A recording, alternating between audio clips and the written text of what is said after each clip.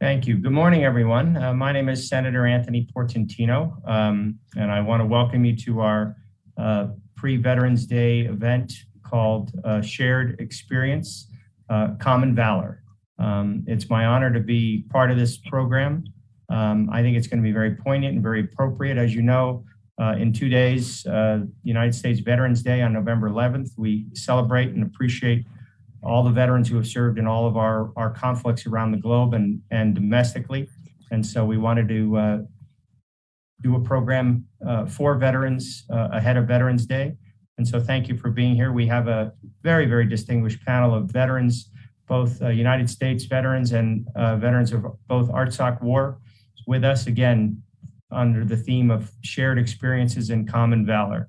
Um, given the proud service of so many Americans and so many Californians in our military. Um, I thought a conversation between U.S. veterans and Armenian vet, uh, veterans would be appropriate. I grew up the son of a World War II veteran. I did not have the honor of serving our country in the military, but I'm honored to be a state senator and doing public service uh, the best I can. I have deep respect for the men and women who serve our country uh, and serve in the military, so we could have the freedoms at home. Those folks who risk our lives.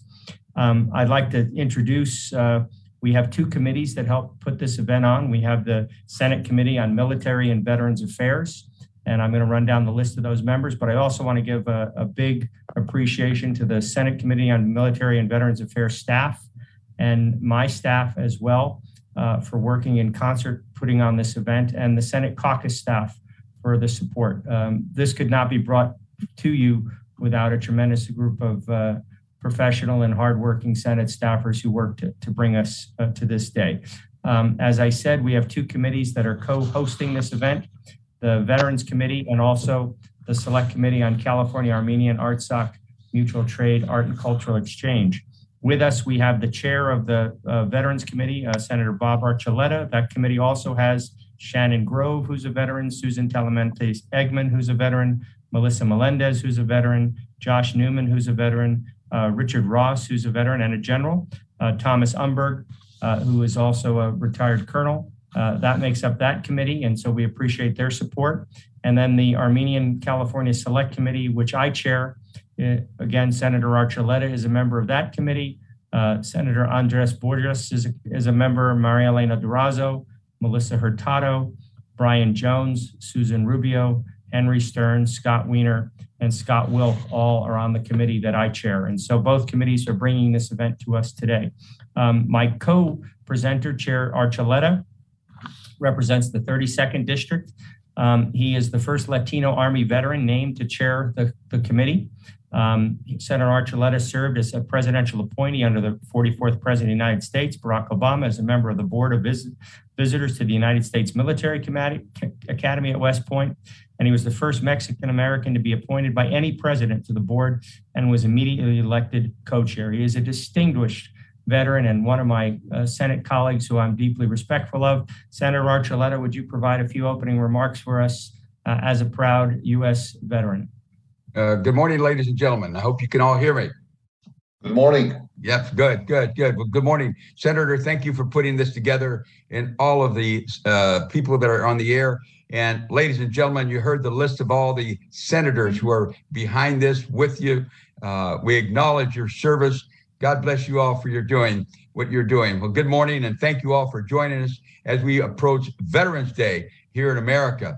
But when we're talking about veterans, we're talking about anyone who serves their nation uh, with honor and distinction. And yes, I'm the chair of the Military and Veterans Committee, but I want to acknowledge my colleagues uh, and of course Senator Anthony Portantino for inviting me to to be here with you today and to uh, acknowledge the fact that so many veterans have served this great nation Army, Navy, Air Force, Marine Corps, Coast Guard, and all of us have worked together.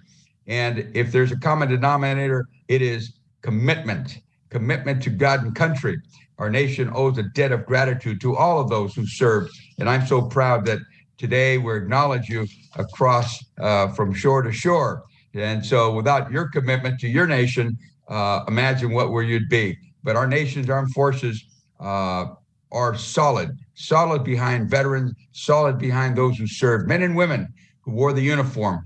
And uh, brothers in arms, sisters in arms, I want to tell you, the Senate Committee on Military and Veterans Affairs, we're proud to represent you in any way we can. My colleagues are there for you each and every day. Uh, from the business to start, uh, let's acknowledge the fact that veterans give so much.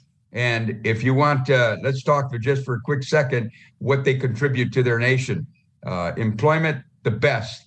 Uh, commitment, the best. Everyone acknowledges veterans serve their companies, their corporations, uh, without a doubt, with honor and dignity, because they've done that uh, for their nation. So the veterans that are on screen, the veterans who are listening, thank you for your service and God bless you. Once again, I'm Senator Bob Archuleta, and I'm so honored to be here with you today.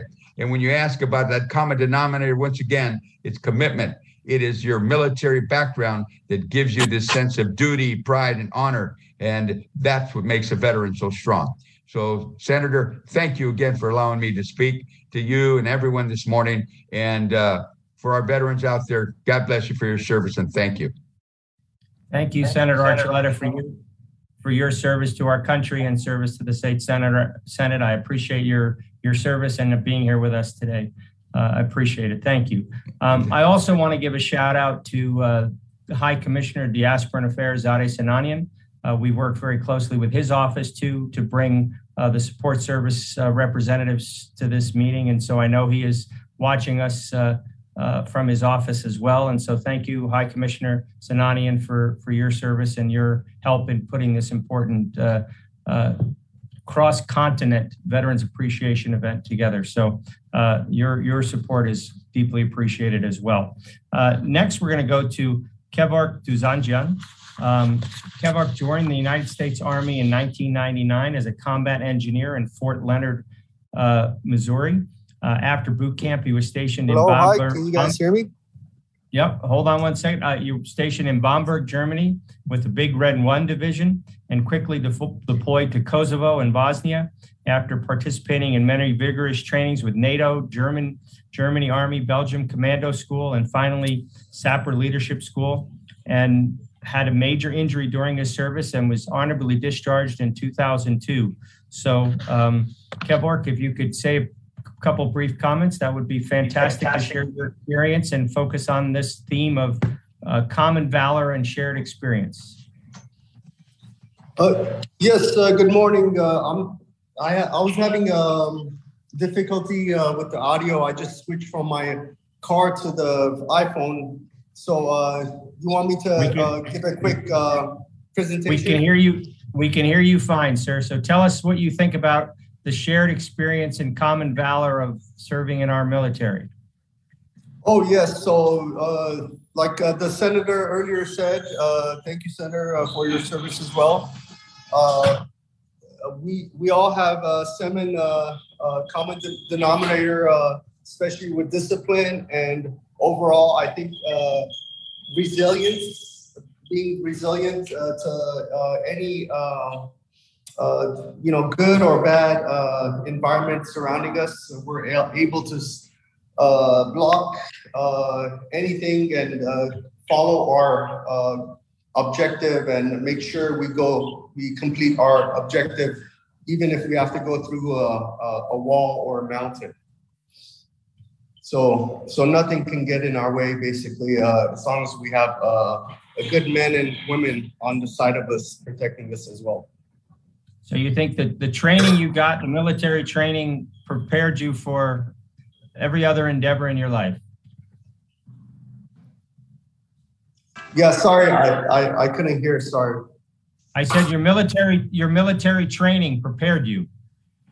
Oh yes, yes, uh, definitely did. Uh, I think it's a great discipline. I think it'll be good if it's a mandatory one year at least for every uh, American teenager, especially the teenagers these years these days. Well, that's funny. I, my daughters are a decade apart, and there's definitely changing over that decade. You can see in our young people. So, Kevork, thank you for your service to our country. I may have a follow up question before you go, but I really appreciate you taking the time to be here. Um, and God bless and thank you for your service. Yes, thank you, and thanks thanks for the invitation, uh, Senator. Thank you very much. Have a same to you guys.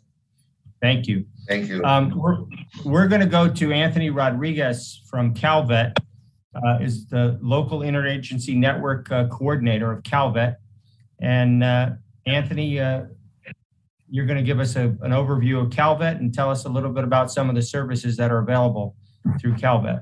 Yes, well, thank you for being here. Happy Veterans Day. And um, Calvet is the California Department of Veteran Affairs. We're the state version of the VA. And what's so important is that California has an abundance of benefits that we provide to military veterans. Um, California has the largest network of services, and uh, we provide uh, services uh, while we work with our County Veteran Service Office. George Dixon will be on shortly. And we work hand in hand with them to uh, service veterans in the area of service connected disability compensation claims.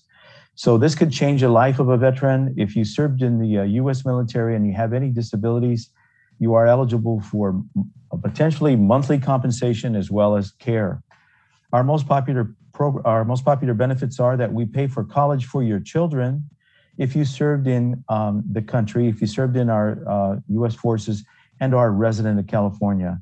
Um, we also have home loan programs. We have programs for women, programs and benefits uh, for businesses. Um, there's just we have just more services than anybody else, and we have a very good program that helps with the transition for military members uh, as they come out. We work with military bases, reservists, National Guard, and so on. So we're very fortunate. LA County has the greatest number of veterans in the nation. And uh, along with some of the other services, I see Jimmy Guevara here with VPAN and others, uh, just, just, just a whole variety of benefits. I'm just one of them that are here. Happy to serve. I'm a former U.S. Marine captain myself, and um, pleased to be with you this morning. Anthony, and on our theme of sort of shared experience, common valor, do you have any thoughts you want to share on that? Yes, I, I think that um, the thing that we all have as as um, military members or former military members is we're willing to give our lives for something greater than ourselves a belief, an idea, a thought um, that uh, we hold uh, very dearly. And I think um, uh, it really sets us apart and uh, it, it uh, un- helps us to understand things like honor and value, uh, valor. And I think that um, we're better citizens for it. And I think we understand the sacrifices that it takes. We appreciate those that also participate in that. Thank you. Thank you for your service to our country, and thank you for continuing to give back to the veterans community across the state of California. Uh, really, really appreciate it. Thank you. Happy you. to be here. Thank Uh, you.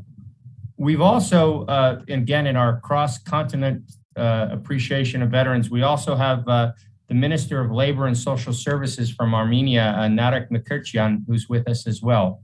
And so, uh, Minister Mkrtchyan, uh, welcome. Uh, Bari Luis, if you could uh, say a brief uh, introduction of yourself, I would love to uh, thank you for, for helping us arrange some of the Armenian services that we have with us today.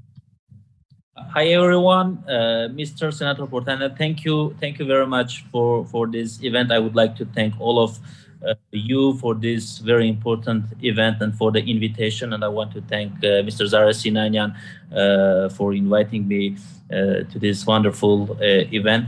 Thank you. Yeah, I am the Minister of uh, Labor and Social Affairs of Armenia, and you know that. um Last year, Armenia experienced devastating war, and the Ministry of Labor and Social Affairs was the main state agency, agency responsible for dealing with all the challenges and the issues which concerned with the post-war uh, crisis situation. And uh, it's it's honor to have veterans uh, in this event. You know that the veteran service is important for every country, every society, and now it's our turn uh, to service them, to respect uh, their experience, and we have to do our best to emphasize their distinguished role in our society. So after after war, the ministry uh, did a lot of things uh, to solve a lot of problems of the veterans, especially uh, who got um, let's say disability because of the war, and now we are doing our best to provide uh, the best uh, assistive um, technology for them in order to return them uh, to normal life. And uh, we are doing other projects as well to provide them with employment to make them a part of the society so it's it's it's uh, our honor and we would be happy as a ministry to learn more about the experience of veterans of us uh, and of course to create some bridge between our veterans and the us veterans to learn uh, uh, more experience uh, from them and I, as a minister, would be happy to learn how we can develop institutionally the veteran affairs in Armenia. I know that the U.S. has sophisticated institution of the veteran affairs, and now we are uh, working on developing this institution to provide independent uh, life opportunities, to provide them with uh, any kind of means which will um, provide them with a unique opportunity to return to society and to be uh, to to play like the same uh, role as others and of course to be the role model for other members of the society. Again thank you for this uh, event. Thank you for invitation. Thank you uh, minister for being here. And uh, anthony from calvet if you could put your email in the chat then maybe you and the the minister can exchange emails through the chat, you can make contact with each other uh, after this event. Because one of the themes we want to do is, you know, bring this shared experience, but also the shared services that we're offering in each country, so we can help each other. So if you guys could exchange your your emails through the chat, that would be very helpful. And if for some reason you can't, my staff will facilitate that after this uh, call as well. So thank, thank you, you all for being here. Happy to do so. Um, we're going to go to uh, Hagop Kujakian uh, next, who's a Vietnam War veteran. And uh, he was drafted into the U.S. Army in February 1964. And a year later was sent to Korea and was signed to a, a unit five miles from the DMZ. Uh, he shares that uh, Mr. Uh, Senator, excuse me, Colonel Umberg was also at the DMZ. Um, and so, uh, Hagop, uh, after 12 months, you were honorably discharged serving our great country. So, thank you for being here. And please share a few words and uh, touch upon our common valor shared experiences theme. And thank you for your service. Thank you, Senator. When I received, as a young man, I received a letter from the president. I was being drafted. I went through a lot of shock, but I was honest to God, I was proud to be drafted in the U.S. Army. And uh, after serving at Fort Ord for a whole year, when I got my uh, orders to ship to Vietnam, I mean, Korea, all the way on the ocean, we were afraid that we would be rerouted to Vietnam because it was things were heating up. Uh, all 3,000 of us were lucky enough to go to Korea, but didn't realize that we would be stationed so close to North Korea. We were like five miles from North Korea. That was a shocking. But anyway, when you say common valor, most of the most of my GI friends uh, in in my unit were honest to God. We were just proud to be uh, Americans proud to serve in the U.S. Army, and we would when we would go on uh, the different ventures, we would proud we would be proud to be as Americans and express the bravery and the dedication we have.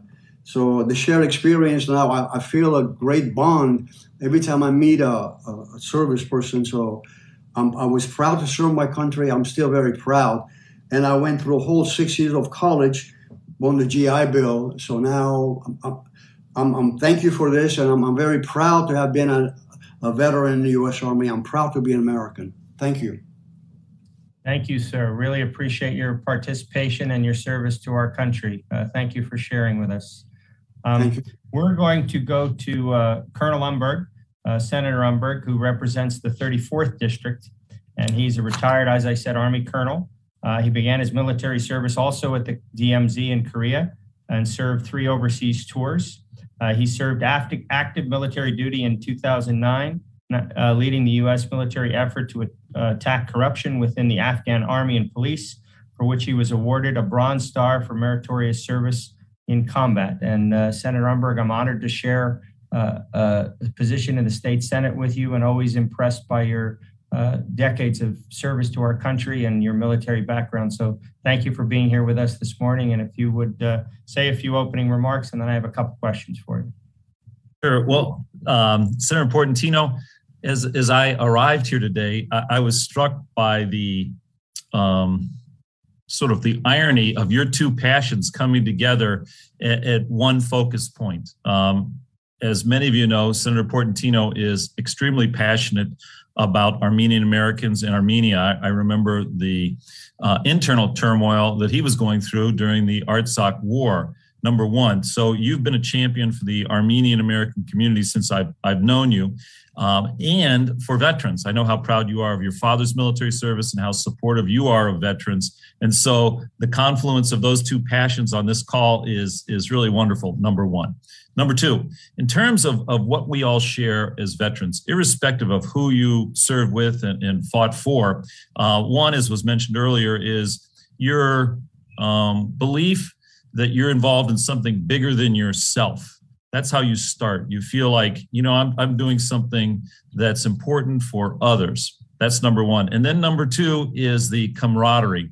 Um, all of you who have served in the military, particularly in, in challenging circumstances, know how important your colleagues are, your comrades are. They provide you physical and emotional support. Um, as, as Senator Portantino mentioned, I served on the demilitarized zone many years ago. I was, I think, 38 years ago.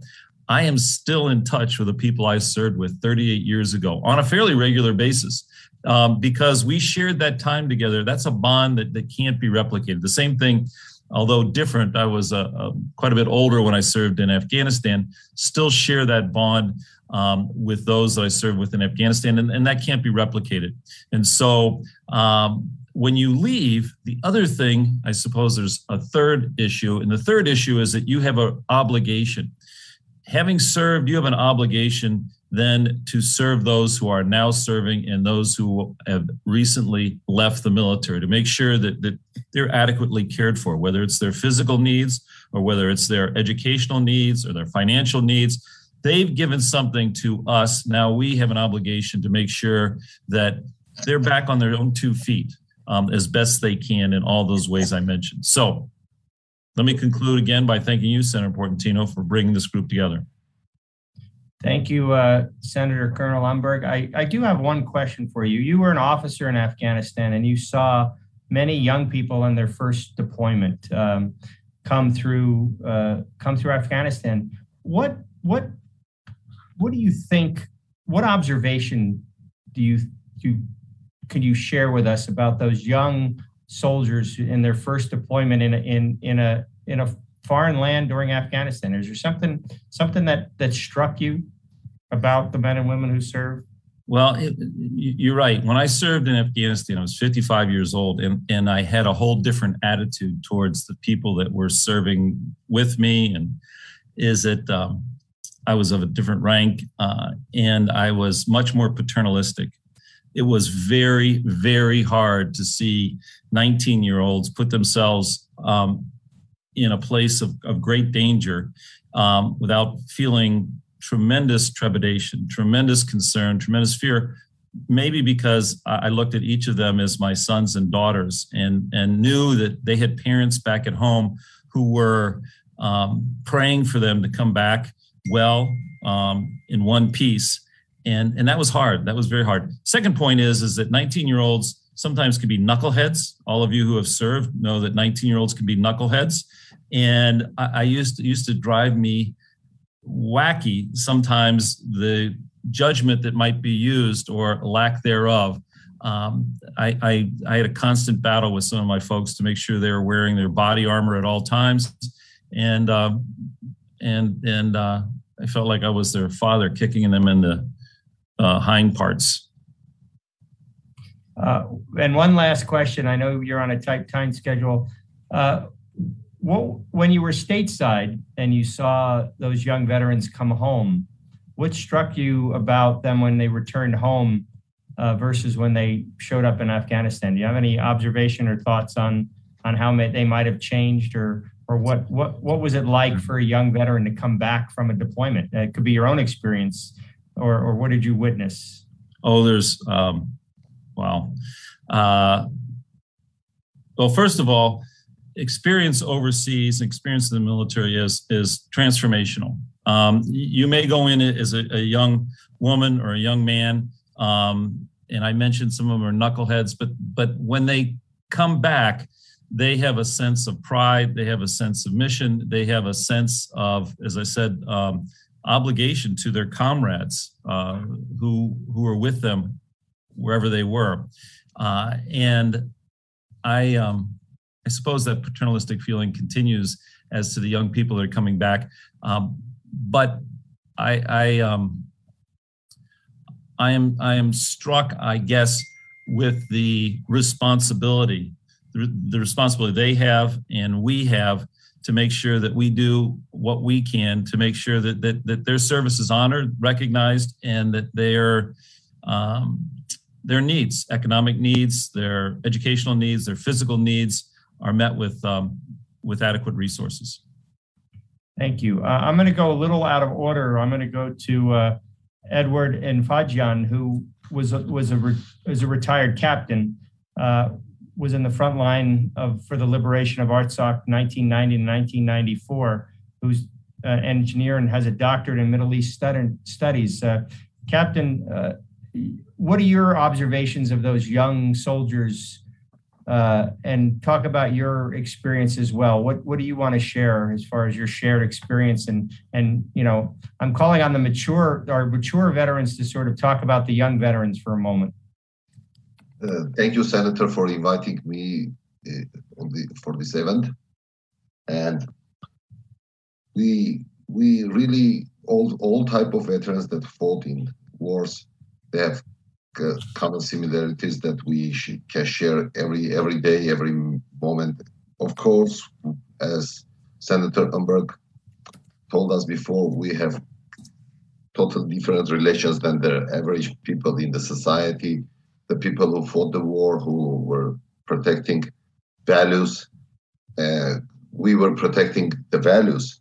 Like the American veterans were protecting their homeland security, the smiles on their kids' face. We were protecting the human rights. We were protecting human rights on in our motherland. We were protecting human human rights in different countries in the world. And of course, the main thing that we were fighting is really the values, the values to live free. We were fighting for freedom. We were fighting for liberations from colonialism, from kind of Islamic fundamentalism, and intolerance. Intolerance. This is what we were protecting, and of course we share share same values. Uh, in Armenia, it, the situation was totally different in 1995, 1996, up to those days. And of course, Armenia is trans transforming into better country.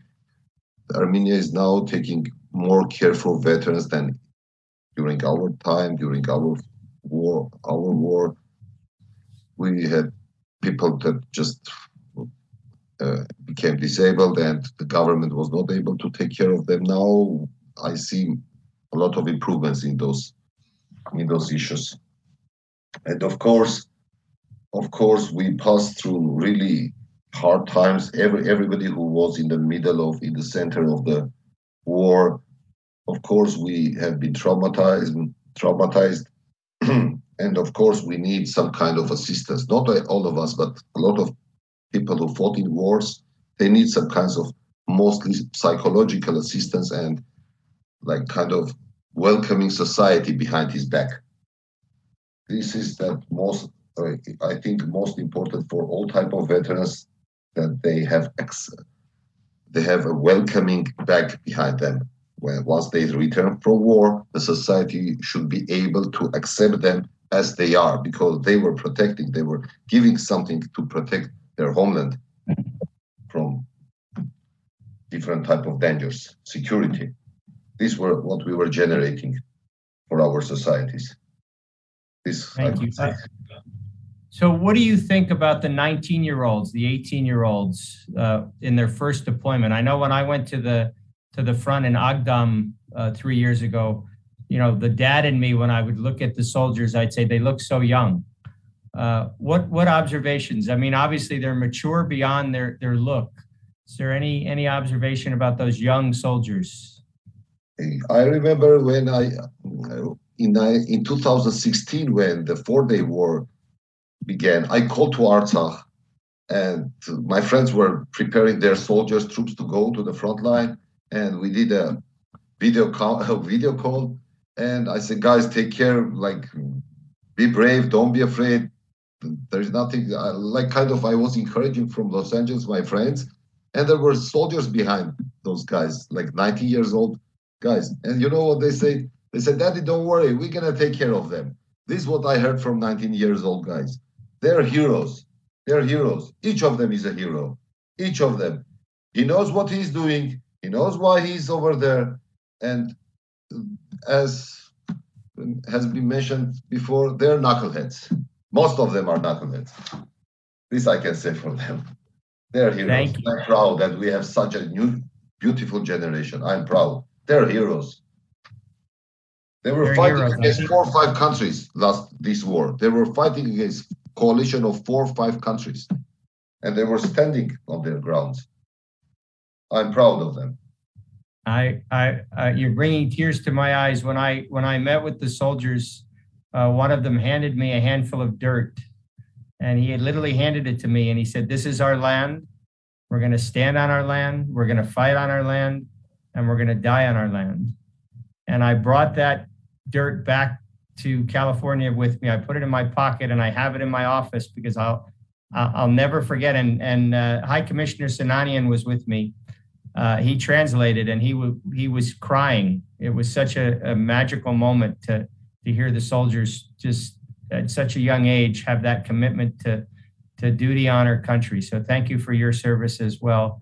Um, we are going to pay tribute to an American uh, veteran who recently passed, uh, George Astakarian, uh, who was a very decorated World War II veteran, and so we want to uh, pay respects to him. He passed away peaceably uh, October 24th in Walnut Creek.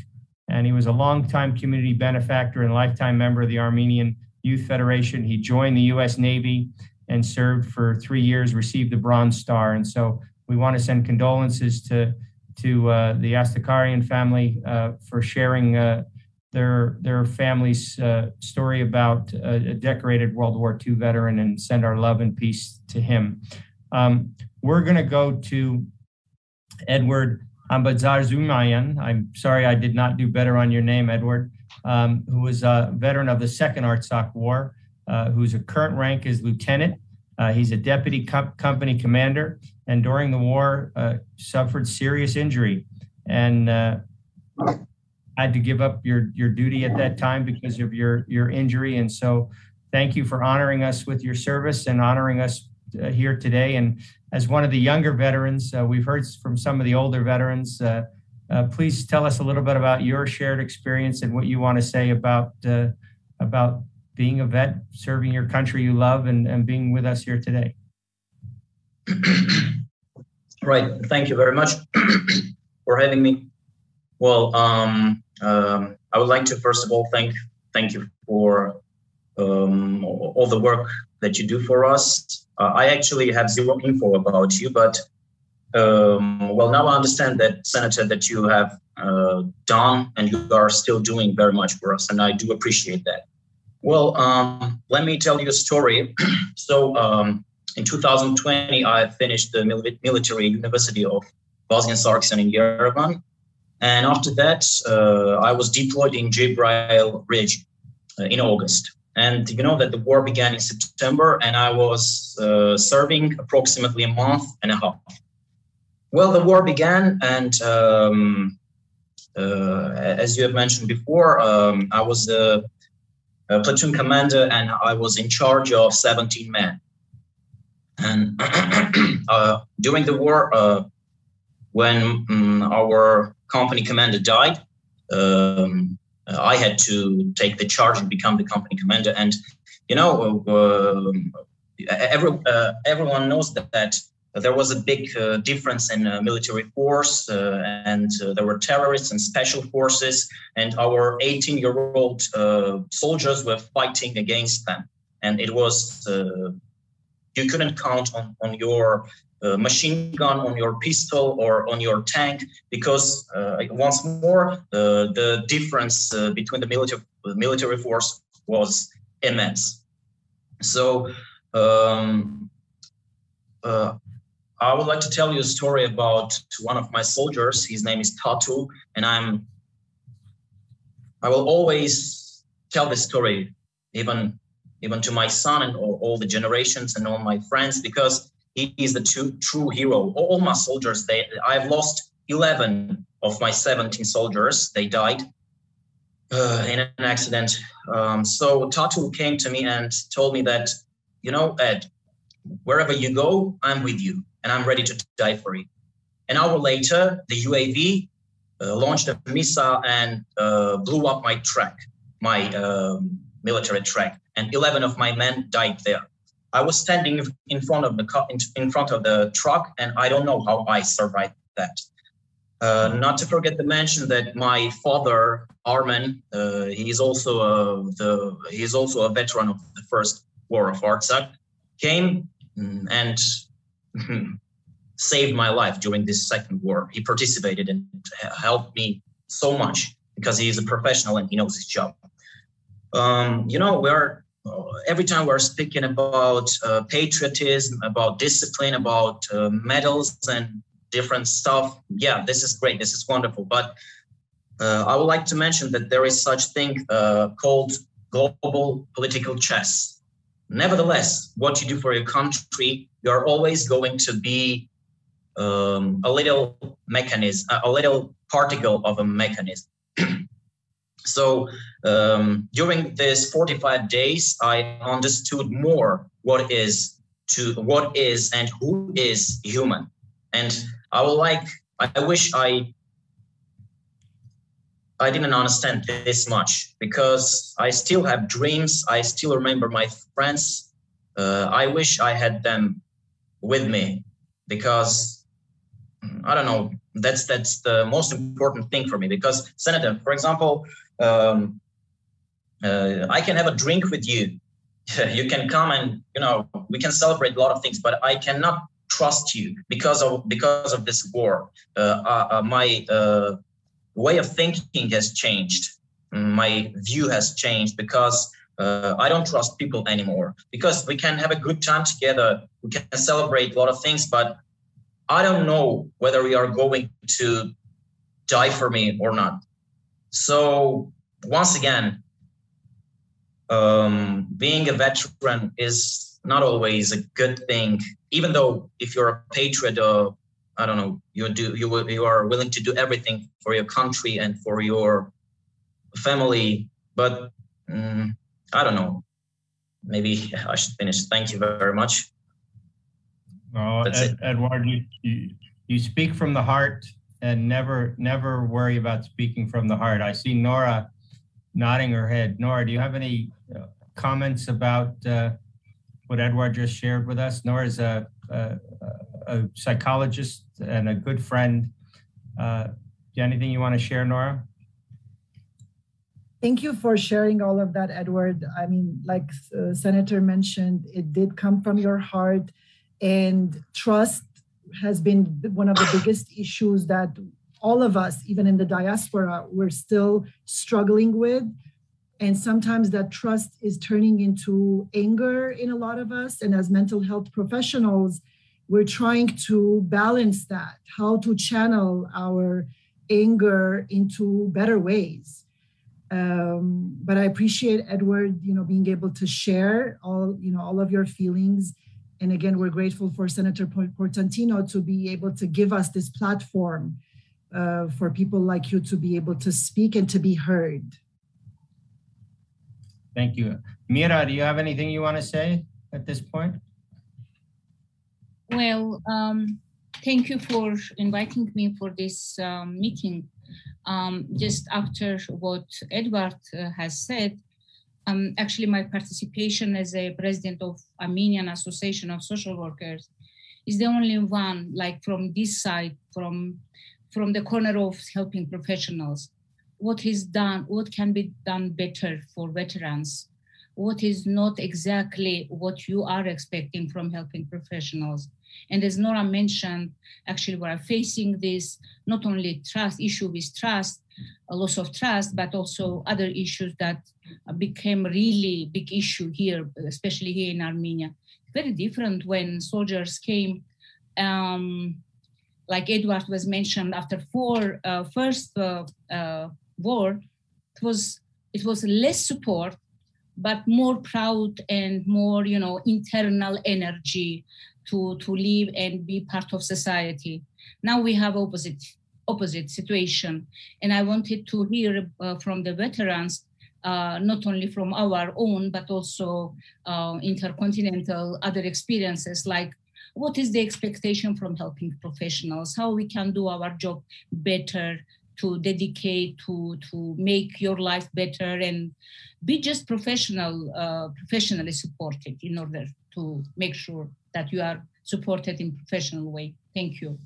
That was wonderful from- and thank you. And obviously uh, we'll make sure that everyone has everyone's email from Calvet and from the different organizations, and Nora and Mira will make sure we connect with you, uh, each other as well. We're going to go to Aram Adamian, uh, who's a veteran of the Second Artsakh War. Again, uh, a young person who's with us.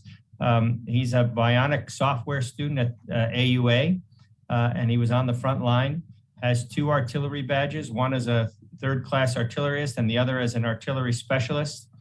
And uh, here's an excerpt on, a, on an article he wrote I believe there is nothing in life that would be more stressful and difficult than being in the front line. Every challenge or obstacle will be a matter of time to overcome, and we enter service as teenagers and leave as adults. So, Aram, you shared that uh, observation, and please share a little bit more about your common experience and what you'd like to tell us today. And thank yeah, you so thank you. Thank you, first of all, everyone uh, invited me and organized this meeting. Um, Yes, I was um, uh, artillery sergeant when the war started, and I had a crew uh, I was responsible to. Uh, and also, uh, my brother, uh, who was uh, 18 years old back then, was also serving in the front line during the war. And we were totally different places.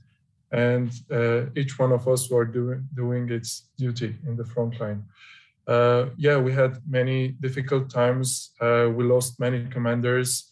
Uh, we lost many people that we looked onto them. So we became the commanders and we became the men uh, who needed uh, to keep uh, to, to keep the energy going, to, to move the other friends and our other members of the team to not lose hope and continue. Um, I think uh, it changed a lot uh, to everyone. Uh, as I mentioned in my article, we came as teenagers and we left as adults. Uh, but the most important thing uh, is that um, we need to do something that uh, the next generations and the future generations will not see what we have seen. And we need to start using our knowledge, we need to develop our um, education so that uh, the war will not become a solution, but the brain will.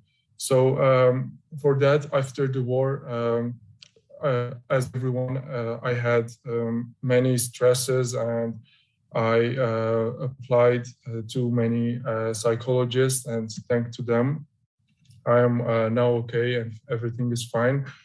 And uh, I think this is a common value that every veteran shares because uh, the traumas that has experienced in uh, during the war uh, can be long term, and everyone must share uh, with uh, psychologists and become um, more relieved from that. And also, I think the act of war, the act of patriotism, participating the war is just a start of uh, serving a country and you need to continue the serving of the country uh, and as i'm doing i'm uh, i joined the uh, Armbionics uh, team uh, in armenia which makes a bionic arms and legs for the injured people in the war and in my way, I am using my knowledge to help those people so that they can achieve uh, their um, what they wanted in their life. Thank you.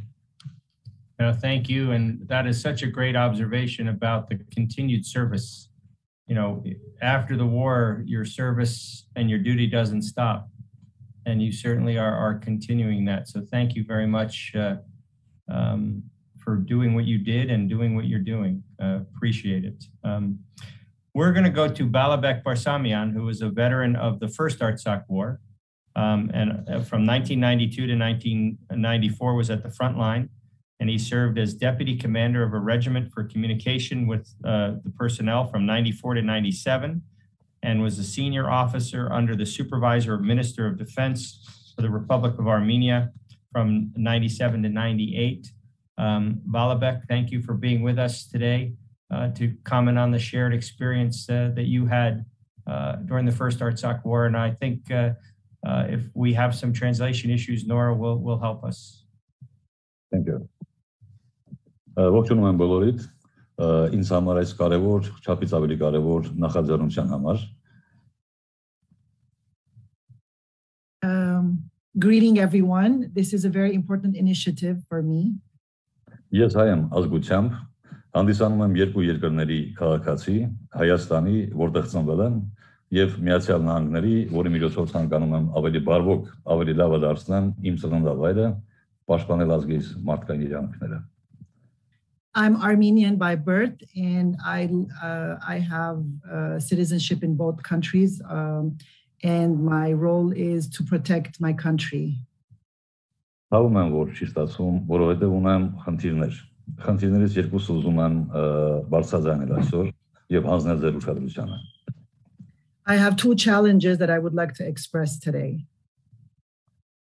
Հայրենիքից վերջին ռազմական գործողությունների ուրեմն կանգնեցնելու պատրվակով Հայաստանի, Ռուսաստանի եւ Ադրբեջանի միջև կնքվեց համաձայնագիր։ In order to stop uh, in order to stop the war there was a arrangement to uh, to stop the war between Azerbaijan, Russia and Armenia.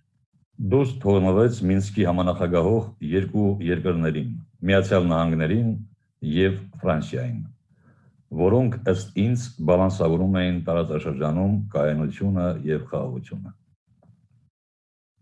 Գներեք առաջին ինչ ասեցիք Մինսկեն առաջ։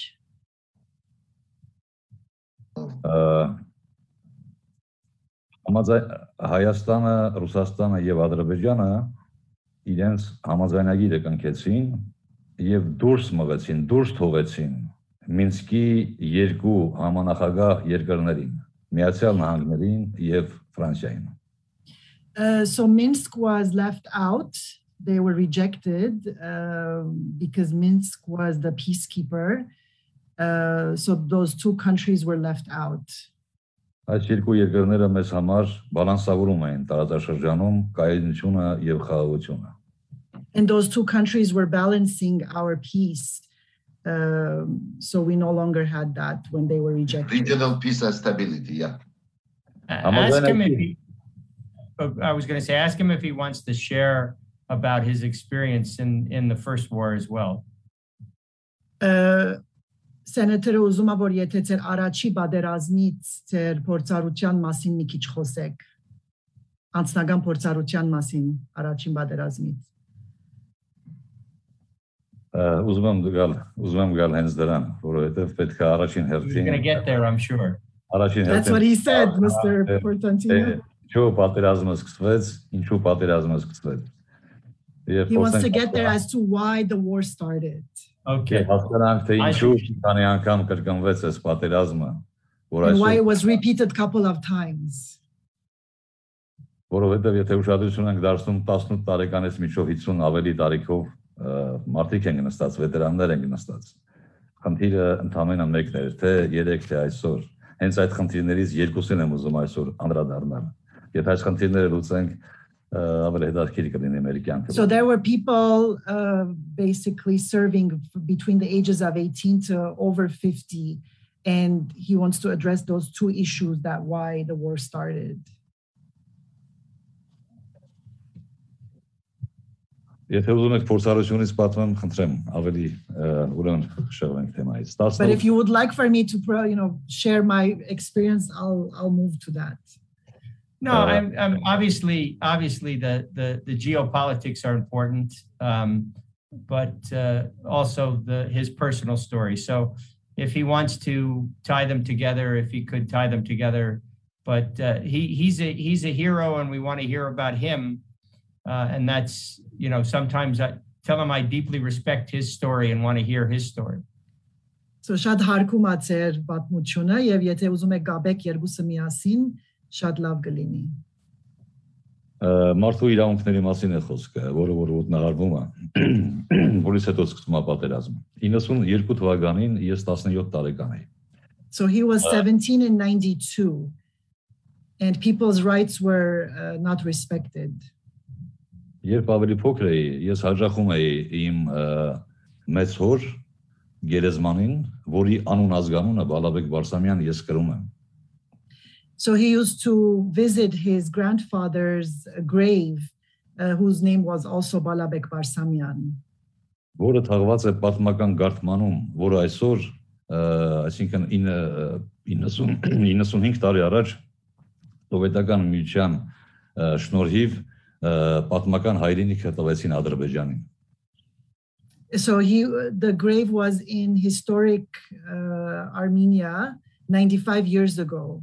He was uh, basically buried there. Եվ 17 տարեկանում ես չկարողացա այցելեմ իմ պապիկի գերեզմանին։ And when he was 17, he still couldn't visit his uh, grandfather's graveyard. որովհետև ը, ի- ը, հենց ը, Ադրբեջանի ագրեսիվ քաղաքականության շնորհիվ էլ այն ժամանակ դեռ ը, ազգային խտրականությունային դնում, այսինքն իբրև հայ, իբրև քրիստոնյա միշտ խնդիրներ են ունեցել եւ խնդիրը հասավ միջև ընդհանուր պատերազմի։ And that was because of Azerbaijan's aggressive political role. Uh, there, there's always been conflict, so that's why he couldn't uh, go and visit.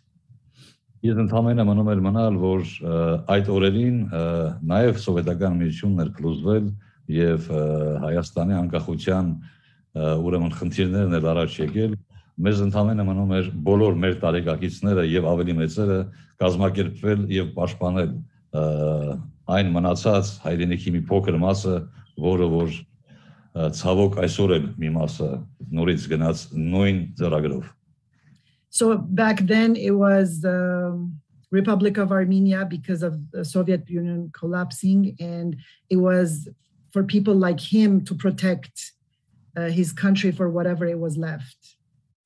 Ու այդպես էլ մեր առաջին առաջին պատերազմական գործողությունները ուրեմն մասնակից դարձ առաջին պատերազմական գործողություններին հույս ունենալով որ օրերից մի օր պետք է հասնեմ իմ ծնողների ծննդավայրին եւ իմ մեծ հոր շինիմին ծաղիկ ծաղկեպսակ դնեմ եւ խունկ ծխեմ So that's how his military work started because his goal was to reach to his land to see his great gra- gra- grandfather's graveyard and to be able to place flowers. Եվ ցավոք 4 տարի պատերազմից հետո այդպես էլ չկարողացա հասնել իմ ը, ծնողների ծննդավայրին, որոնք որ պատմական Հայաստան էր, Գարթմանի գավառ։ And even after four years, he was not able to reach to that land that was in Gartman area.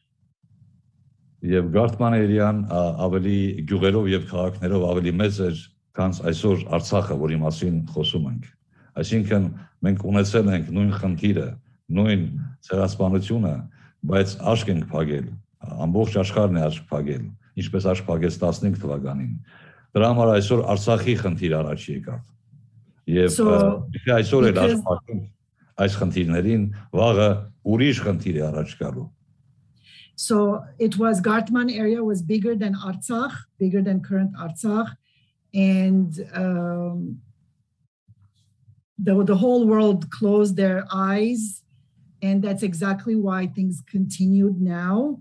And you know, this is part of the history uh, from what it was before. He's sharing. Ask him, well- ask him if he, ask him if he's had an opportunity to talk to some of the veterans of the, the recent war. Արիտ ունեցել եք ներգա նոր վետերանների հետ խոսակ։ Այո, իհարկե, այո, իհարկե։ Մշտական Yes, of course. նույն խնդիրները ինչ որ եղել են առաջ, նույն խնդիրները ինչ որ ունեցել են 20-30 տարի առաջ, ես ինքս իրենց հոգեբանորեն նաև ինչու՞ չէ պատրաստում ենք որ գիտեք ապագայում այսպես կարող է լինել ձեզ հետ ապագայում պետությունը այսպես կարող է վերաբերվի ձեզ հետ ապագայում ինչու՞ չէ աղջիկները այսպես կարող են վերաբերվել ձեր հետ So he's always in touch with them, even he's there for emotional support and also supporting them in scenarios as to what could happen in the future and giving them that kind of guidance. I see I see Adam I see Adam has sent a positive message in the chat. Adam, do you have any questions you want to ask Balabek or say comment?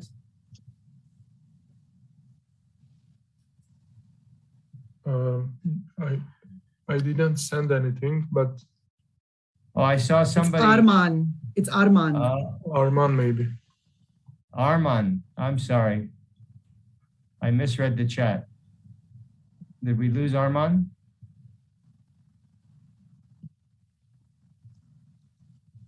All right. Uh, so Balabek, uh, I, I, hope I say this right. Harkan Nadish, you have my respect as well. Um, one last thought about uh, the situation, a comment, please share.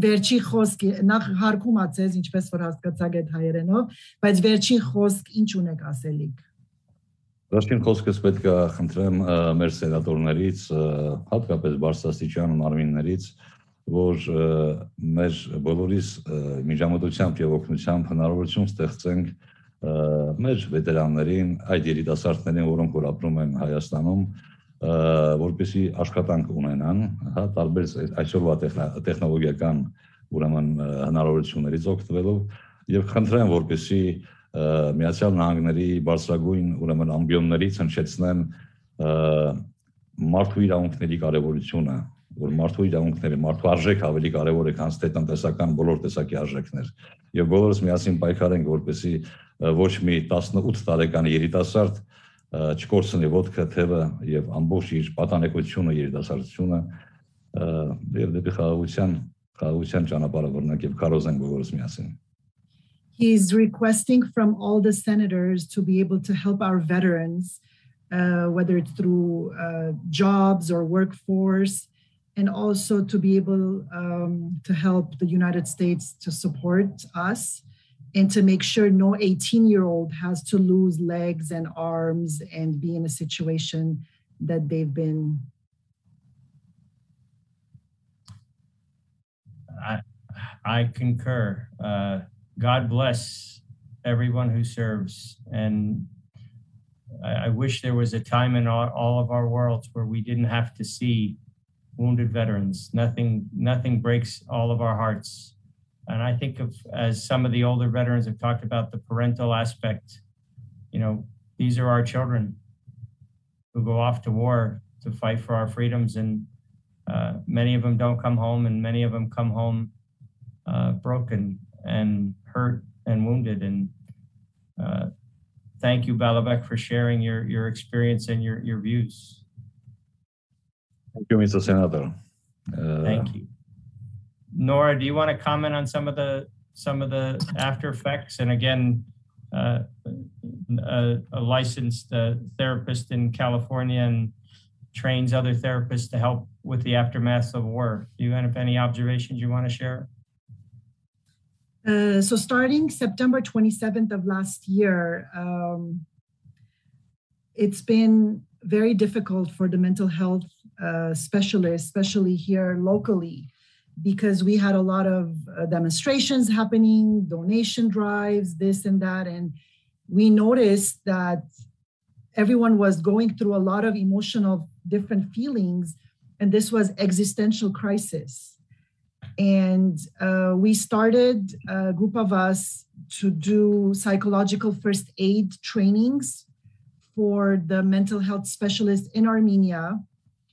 And um, we did that. We had about 200 therapists, psychologists join our Zoom sessions on a regular basis, sometimes twice a week. And um, I was involved with those trainings in addition to doing uh, presentations for our diaspora Armenians because being far, we were not understanding what was going on. Um, and in the beginning, we still had trust. Uh, like Edward mentioned, the trust is broken. We still had trust, we had hopes.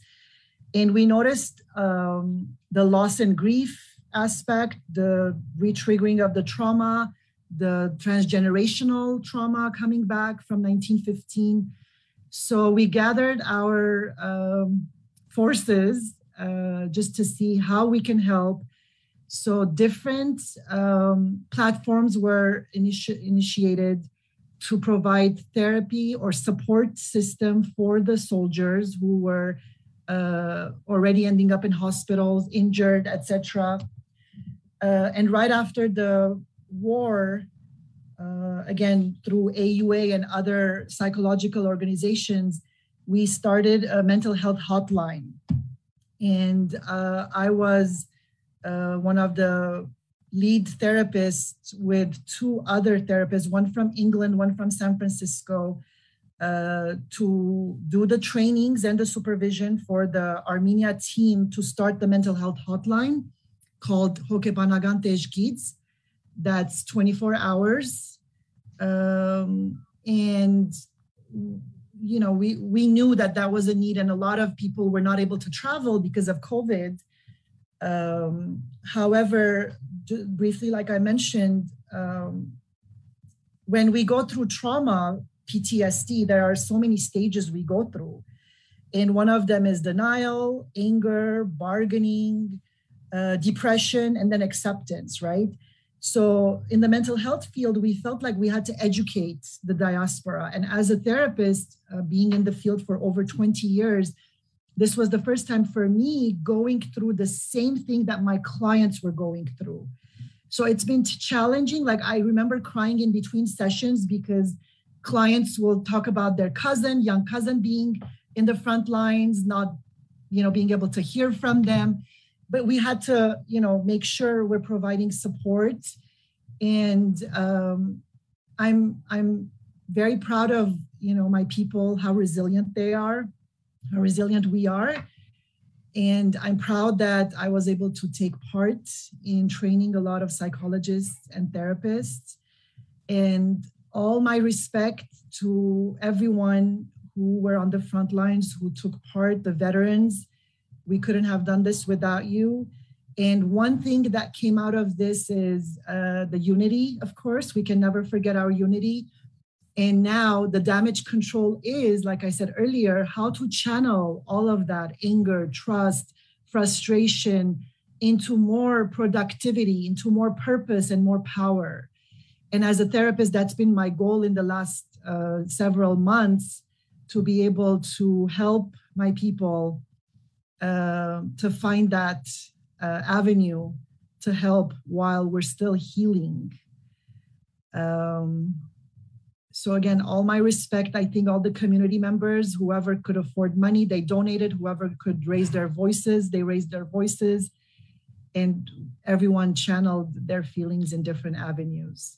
So again, thank you, Mr. Portantino, for always being there for us.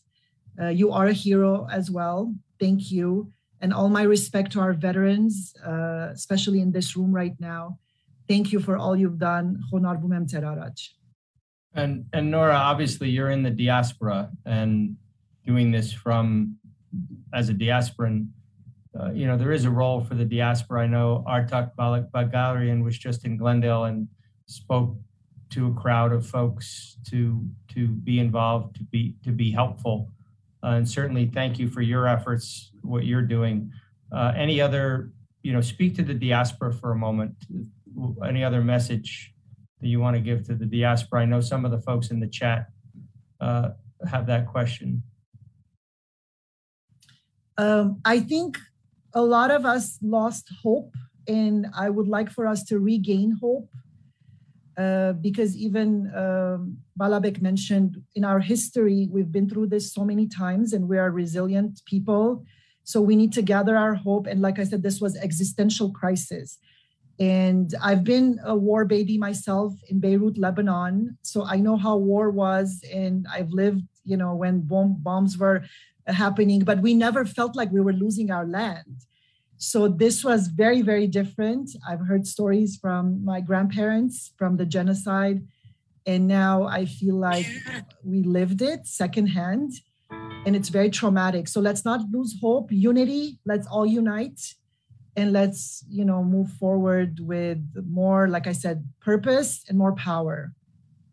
Thank you, Nora. Uh, George, we're going to come to you next. Uh, George Dixon is from the LA County Office of Military and Veterans Affairs, um, and you're the senior representative. Uh, tell us a little bit about what LA County does. And I know some of the folks from from Artsakh and Armenia uh, want to talk after this conversation. I mean, this is the beginning of a conversation, and so if you could share what LA County does, and again, put your email in the chat so we can follow up, and those folks can follow up with you.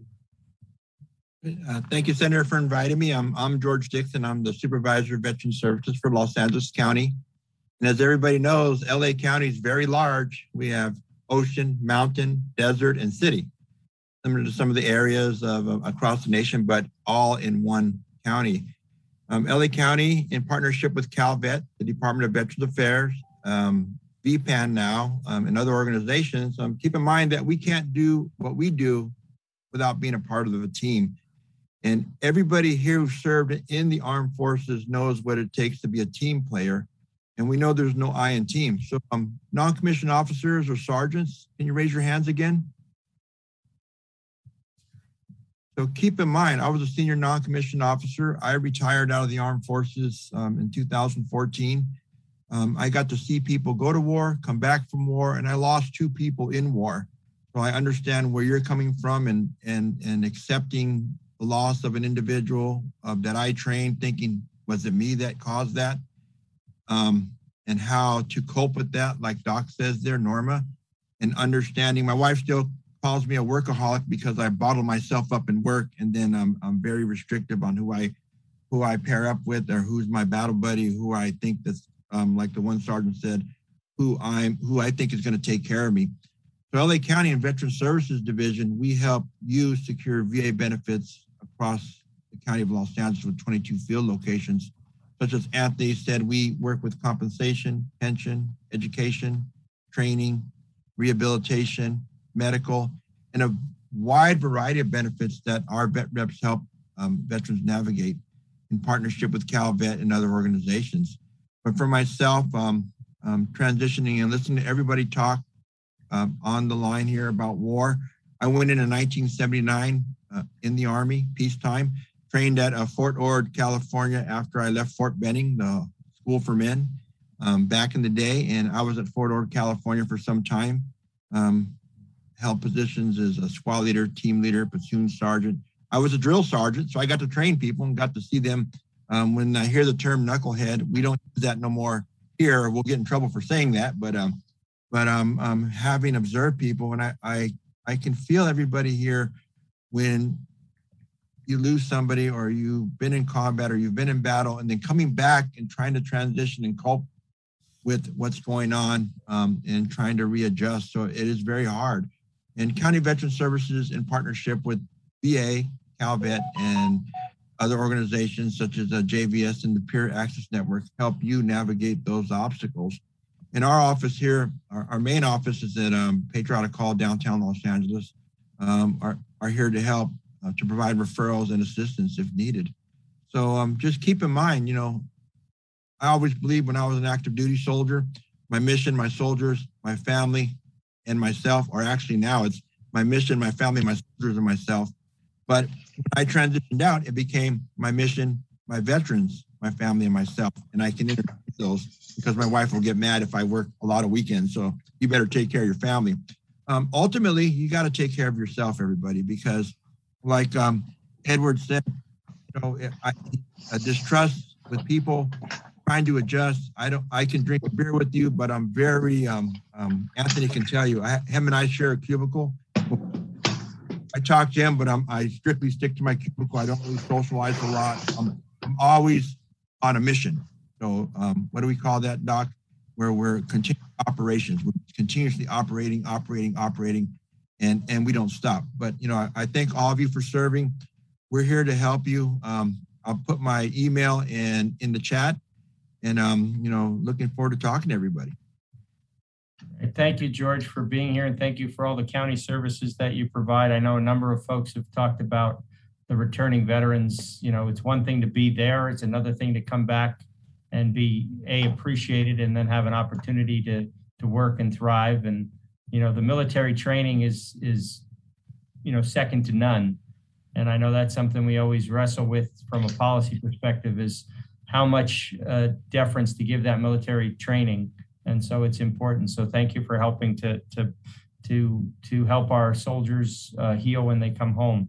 I'm going to go to uh, Zephyr uh, next, and uh, she is the iGorts expert and advisor, uh, the Armenian Association of Social Workers. Uh, recently repatriated to Armenia from Australia and worked with families affected by the Second War. war. Um, and again, you know how how can we all cooperate, uh, Zephyr, and what comments do you want to share with us today?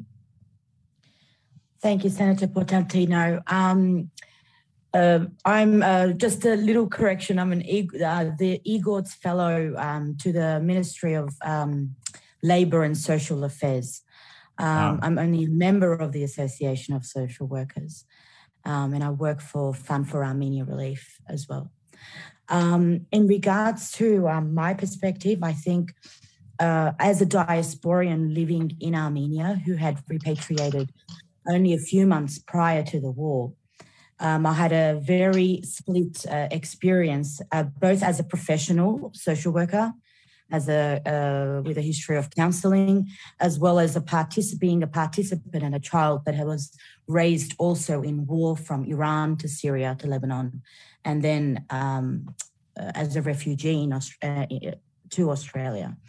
And um, in moving forward um, from my experience that I had, um, and in sort of responding back to Nora as well, it would be a uh, the loss of hope and the message of unity. I think would really be restored um, by a uh, either a a repatriation drive or a long term volunteer drive to return back and experience and see what people in Artsakh and what people in Armenia are doing as a resilient group of people who are trying to move forward and to bring in their energy that is, although they are hurt and upset, but they've still been able to carry on their lives in their respective uh, countries in the diaspora whereas uh, the uh, the Armenians in Armenia and in Artsakh are, are uh, almost on uh, autopilot, and but they need to uh, push themselves to just keep on working because there is no other alternative.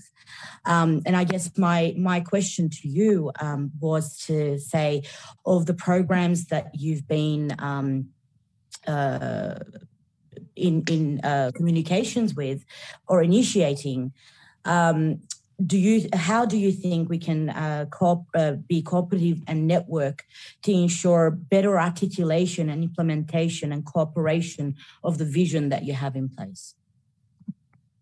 Well that's one of the reasons why i wanted to have this conversation today was you know we have this shared experience between american veterans and artsakh veterans. We have many of the same uh, situations in the aftermath. Um, we can learn from each other which is one of the reasons why I wanted everybody to, to share their emails and contact information uh, because, you know, we're not going to cover everything in an hour and a half, but we can start that conversation. And I was deeply moved by uh, about an Artsakh speech last week in, in Glendale asking us to do more. And so that was one of the inspirations to, to putting this on. And so you're correct. We can do more we have to do more and we have to share our experiences. And, you know, I didn't serve in the military, but I am part of the policymakers who help shepherd the, the, what we do. And that's why I wanted the Veterans Committee to be part of this as well. Um, and, and they were. So thank you for, for prodding me and prodding us. And uh, again, Baden Artsakh for, for asking us all to do more. Thank you. Thank you. Um, I'm going to go to um, Jimmy next. who's a MSW program manager of Veterans Peer Access Network. Jim, you've been patient, um, and I really appreciate uh, you being here. And if you want to maybe comment on Zephyr's comments about what we can do uh, across continents and, and what observations that what, what works, what doesn't work, and share a little bit about your experience um, as well. Thank you, Senator. So good morning, everyone. Uh, my name is Jimmy Guevara. I'm the program manager here for the Veteran Peer Access Network, which is uh, supervisor district number five. So that covers a lot of portion of LA County, which is Antelope Valley all the way to Glendale, Pasadena, uh, La Crescenta, La Cañada, and San Dimas. So, and I work very closely with George Dixon's team and himself, same with Anthony Rodriguez and Cal Vets as well. So kind of like just kind of just hearing the experience alone, let me just first put out there that, you know, uh, the Armenian community is very like very, very close to me in heart just because I grew up in, in Little Armenia. So I like, you know, a lot of my a lot of my understanding of the Armenian community comes from me growing up there, you know, just in East Hollywood and, you know, going to LeConte and going to, you know, Hollywood High and all of that. So it's great to, you know, to be able to give back in that sense, just kind of and myself, I joined the Marine Corps. I went to the Iraq War back in 2005. I went back to back um, deployment. So just hearing the understanding of what everyone's talking about here is just a great, like you know, it just kind of re- helped me reflect back on, on, the experience that we that I had with my team out there as well. You know, um, coming back home, if you feel a little different, you're not, you know, you you you come back with like who do you talk to when you're home, right? I think that's the biggest challenge that we have and that's the reason why this uh, this program called Veteran uh, the Veteran Peer Access Network became the they came came to fruition. The reason why because a lot of veterans are coming home, trying to understand why like who how to relate to society, how do we use the experience that we have to build ourselves back up and and use that strength and resilience? And, and one thing i'm definitely know about the armenian community is they're extremely resilient when it comes to you know per, um, pers- um, pursuing like you know just getting stronger and getting better. Big strong community. That's definitely like you know I gotta give I gotta give a lot of like I gotta love to the Armenian community. That's where I learned a lot from myself, you know, for even for my own uh, personal experience.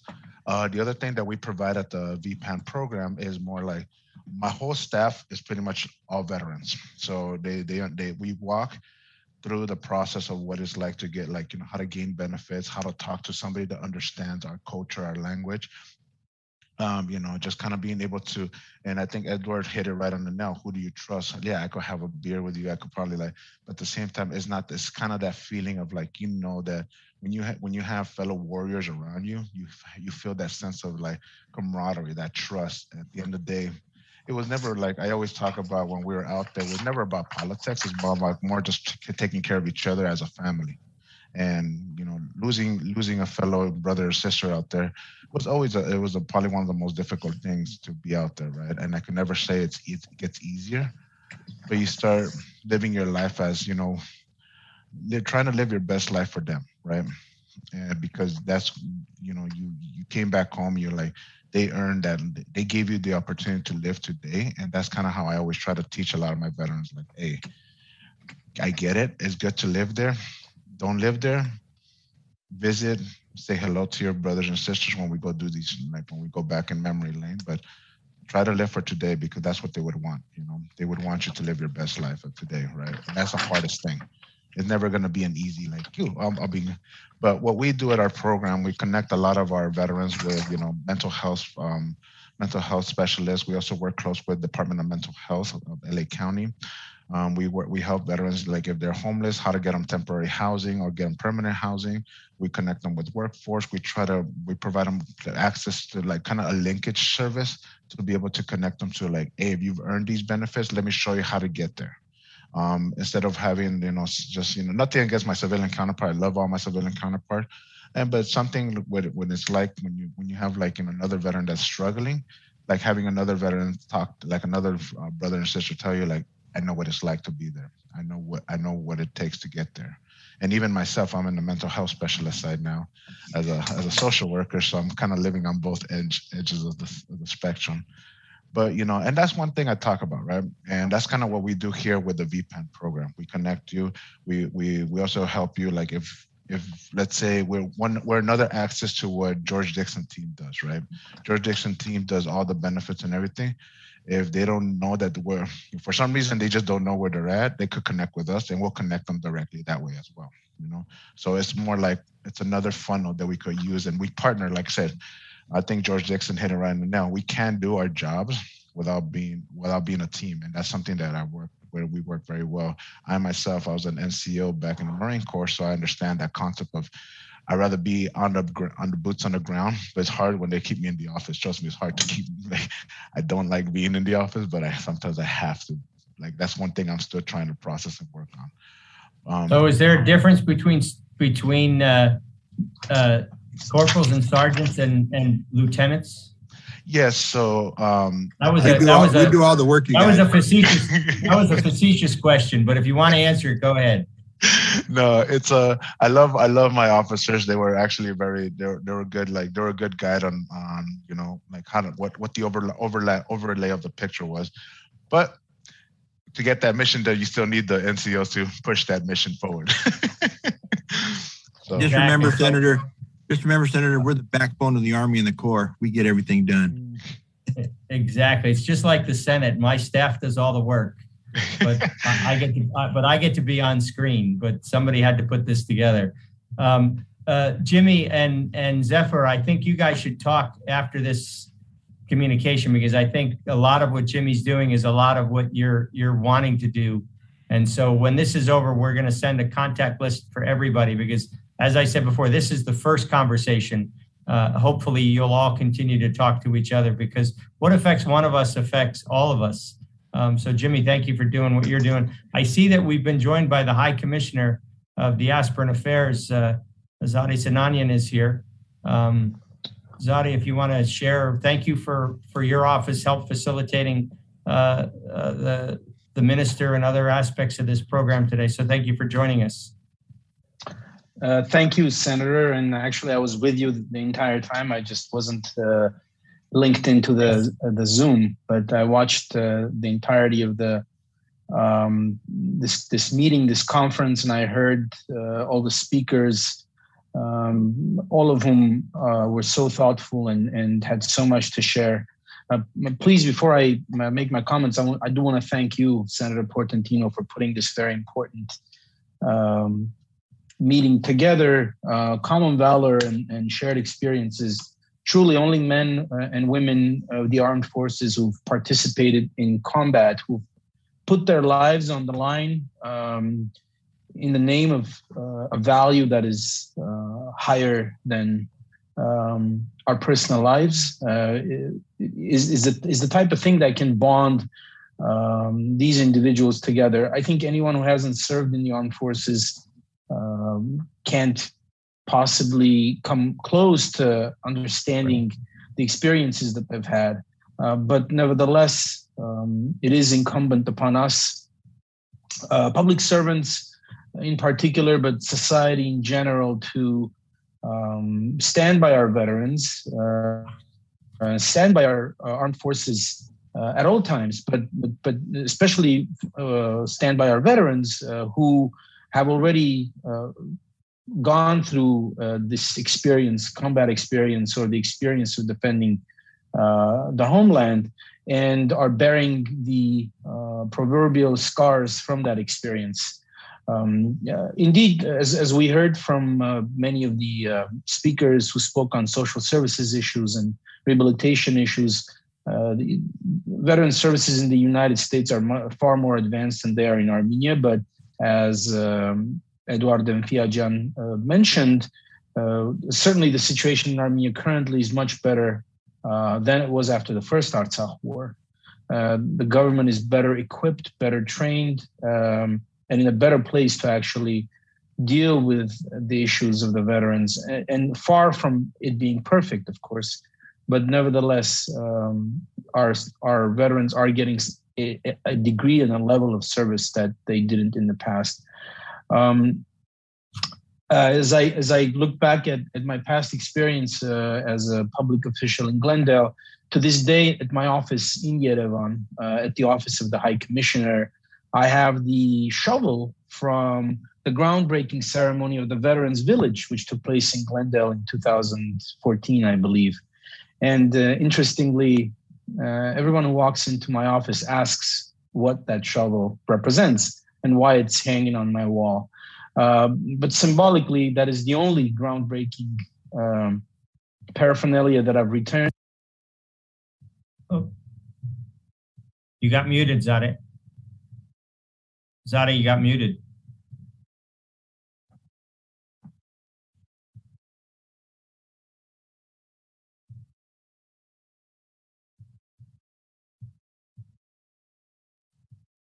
Maybe we should text him.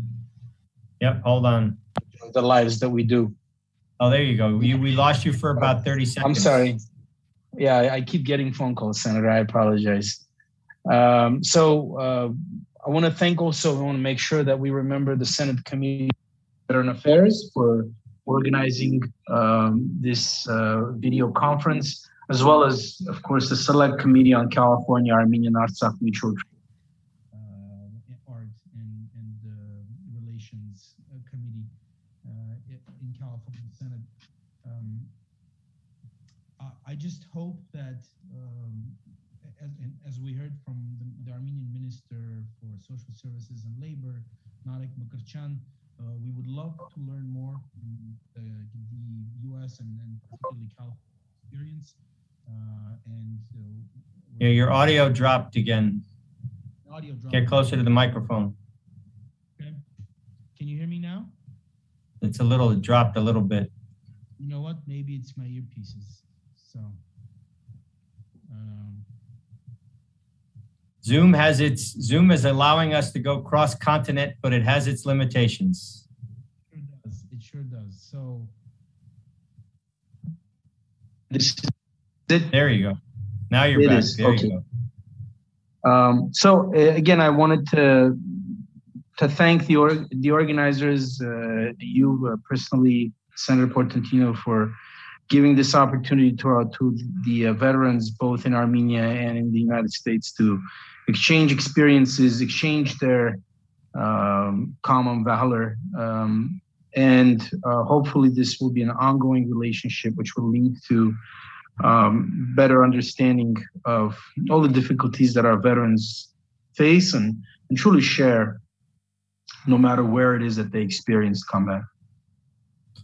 Thank you, thank you, High Commissioner. And as I said, uh, this is this th- there is a shared experience, um, regardless of what continent you fight on, regardless of where you were born, and obviously having uh, Calvet, the county uh, nonprofits services, uh, and and your office and and the folks in Armenia all communicate. It, it's it's a start. Mira, you're going to have the honor of being our, our final word, and then I'll say a wrap up. But uh, let me tell folks a little bit about uh, Mira Antonyan, uh, Associate Professor of Yerevan State University, Faculty of Sociology, Chair of Social Work and Social uh, Technologies. Uh, you work with families affected by war. Um, you've heard some of the stories today, um, deeply emotional. You know, what do you want to share with us? From what you're doing, what we can do better, and what you want to say to the to the men and women who serve uh, both of our countries. Well, again, thank you for this uh, such a nice opportunity to, to listen to people who've been, excuse me, to been uh, feeling all the challenges that were actually brought to everybody's home, to everybody's family. Recently, with Zepur and with um, 70 other colleagues, we had conference here in Armenia, and we invited all helping professionals who are working with veterans, who are working with families who have lost family member, or with wives and children. So helping professionals, psychologists, psychiatrists, social workers, and researchers. Um, after war, as an association, we actually undertook a huge mission uh, going to each replaced family, from family to family, and we had we implemented kind of need assessment for each family who were um, we had to move to Armenia in order to save lives during war, and then, as you may know, um, quite a big number of families still cannot return back home because there is no housing situation, there is no chances to return. So we came together. Um, there was lots of uh, thoughts, you know, um, looking like back what why did it happen, where the mistakes were, how we can do things in a better way, how we can like uh, bring together all our forces, as Nora mentioned, to be more constructive, to look forward, to to give hope to others, and uh, take energy from each other, and then give this hope to everybody who is still healing because of what what happened. One of lessons that we learned, and I wanted to share with you, that we heard during this conference was that during first I, I'm I'm more than agree with Balabek saying about so frustration after first war, uh, not uh, having constructive help to to veterans and to families who had um, lost family member. This time, I fully agree with uh, Mr. Zareh Sinanyan that now we have much more organized way helping people who are suffering because of war. But uh, the same time, uh, I was very young, uh, quite young in First War, and I remember veterans, one of veterans saying this phrase during my conversation with them, that I wish I died during the war because uh, all diaspora support and all government support is going actually to those families who lost someone. So we all come with attention, with support, with emotional support to the families who are actually have uh, victims because of war. But we forget about veterans. So I cannot find job, I cannot find uh, you know any means to live. So this means that uh, it it it it will be better if I I was with them, gone because of war, but not uh, being alive.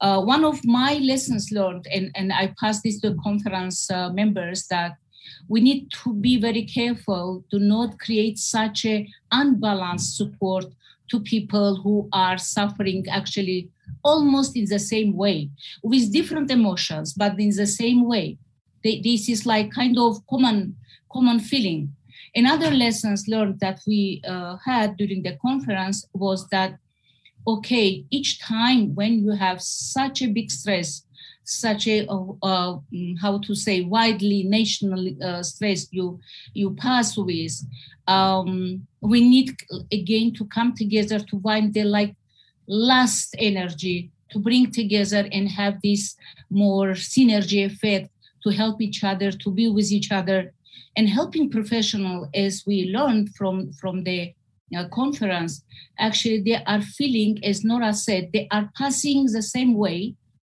that they are clients. And this is very specific situation, really very specific. I'm visiting Artsakh each month for three days minimum or for one week with my whole team. And we are going to create their social workers because Artsakh never had social workers to help people. So in this process, we lessons that we learned from first war and lessons that we learned working with replaced displaced people here is actually a big lesson how we have to start in Artsakh with such a small place already, with such a big problems, where to start with, how to, to make things move from the point where we are.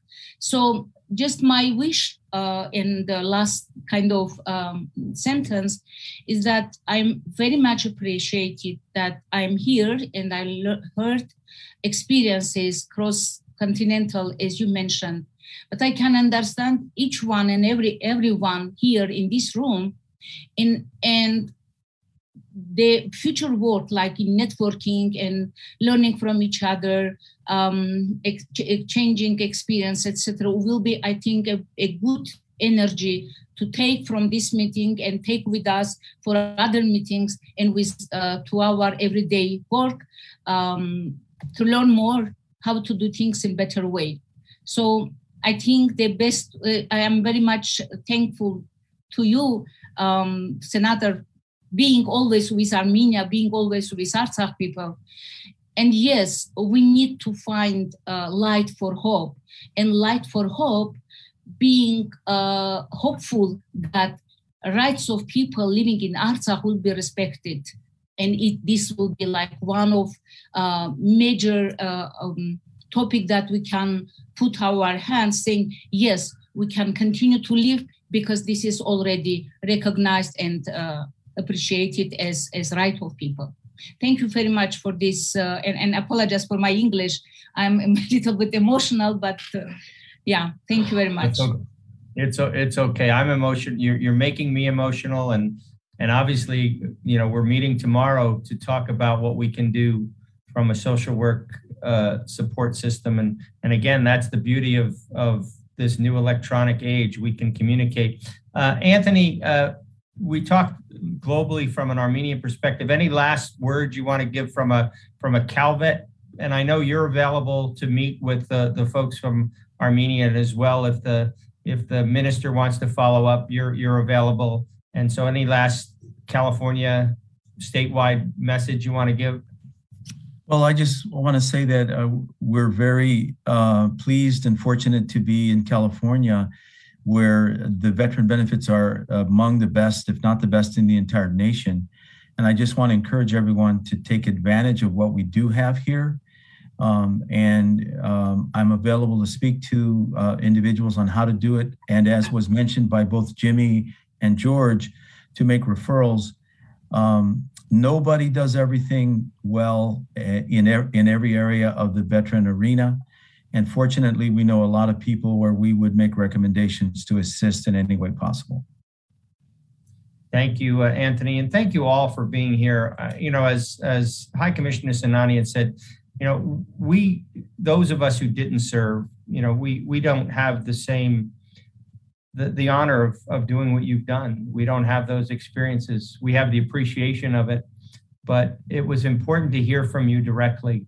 It was important for for others to to hear and share that that common valor, that common experience.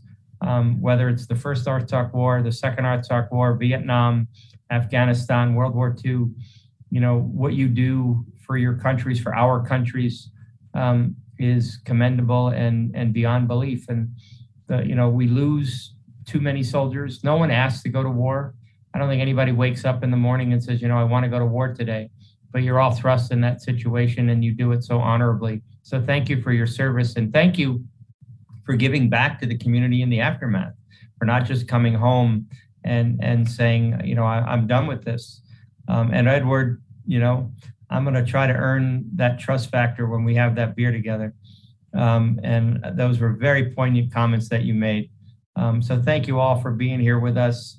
Um, uh, I just deeply appreciate you you taking the time to share your story.